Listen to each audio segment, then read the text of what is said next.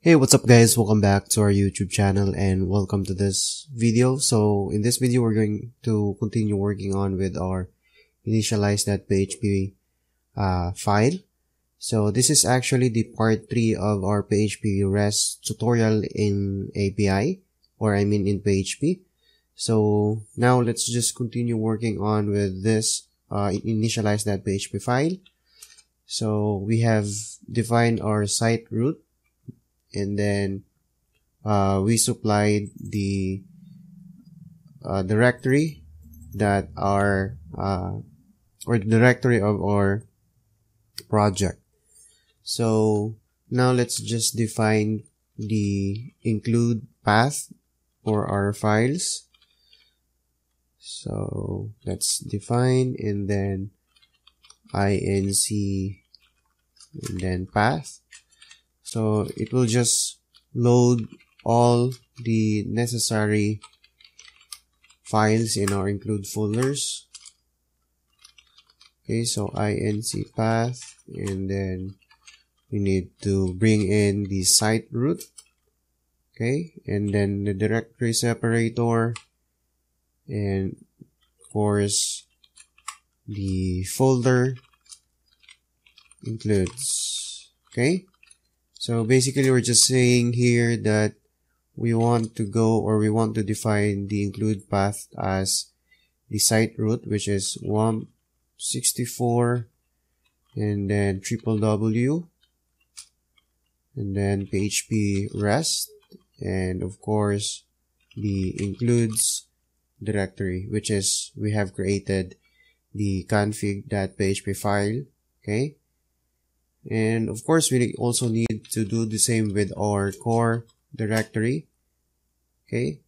So basically, we're just defining here different directories in our project.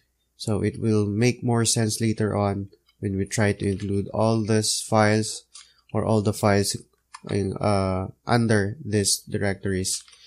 So core path and then it should be instead of using include it should be core okay?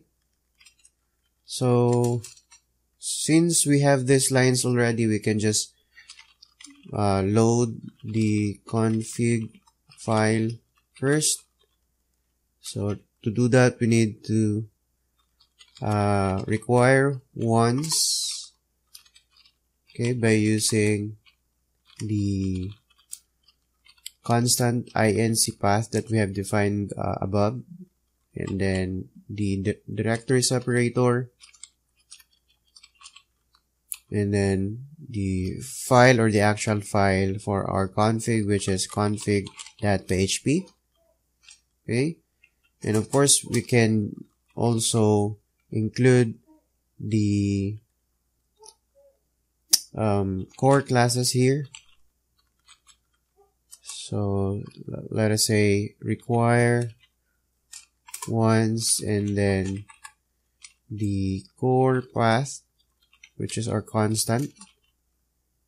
And then directory separator and of course, say for example, we have um, session or any other classes from our core directory. So say for example, we will create another one here say post post.php okay?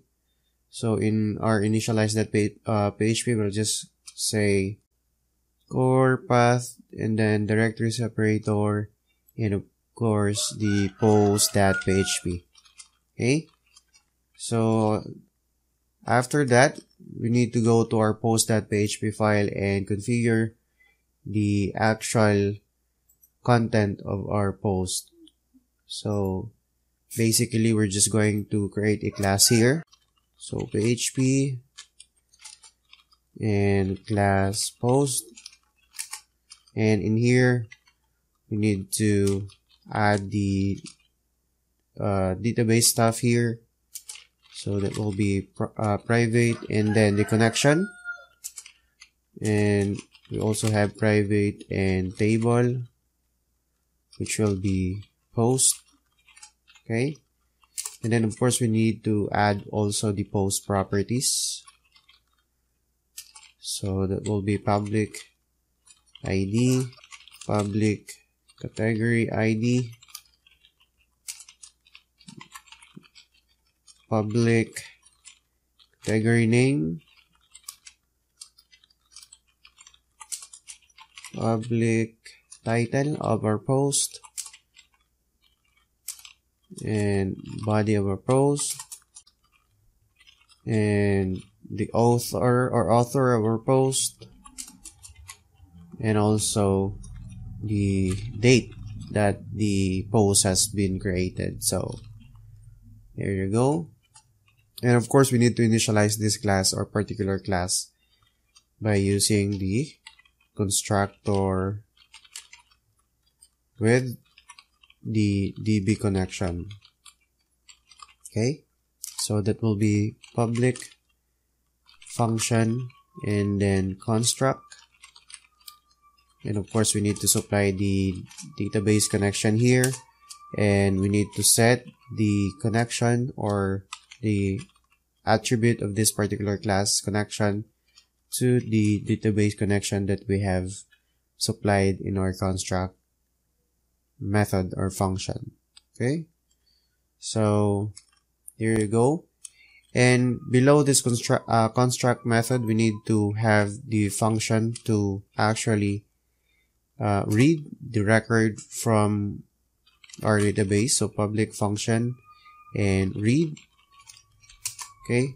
So this is for uh, getting the post from our database and in here we need to create the actual query of our read function.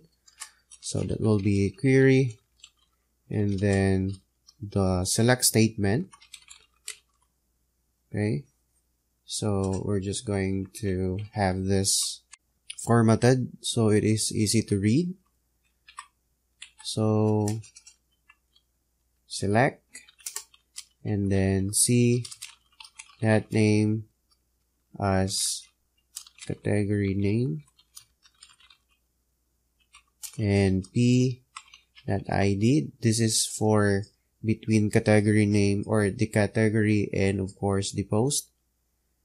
So p that category id category id yeah. And post title post body and of course the post author or author of our post and the date. Okay?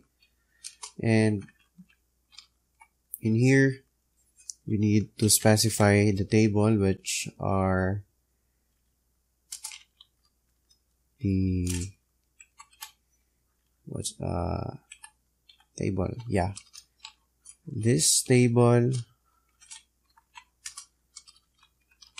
which is we have in, uh, initialized it into post and then the name which is p or the alias of our table is p and then left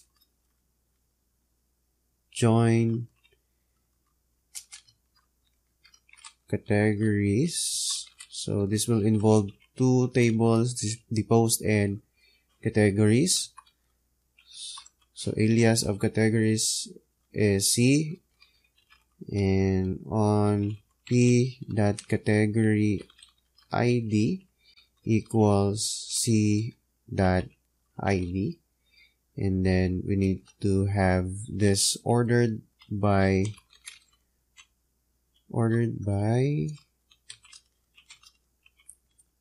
p that created created at it should be created at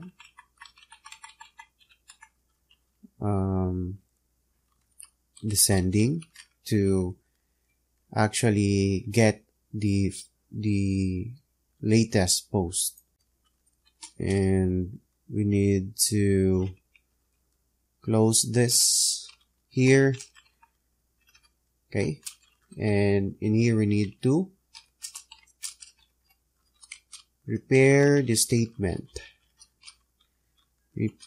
prepare the statement or prepare statement. Okay, and that's STMT and then using the connection that we have. And of course prepare method.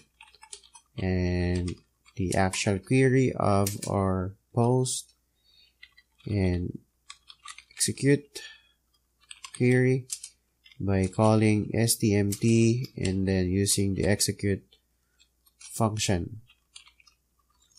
Okay? And then we're just going to return the uh, stmt for now or, or the statement. Okay? So save this. And then we also need to um, add another file or another directory here. So no not there.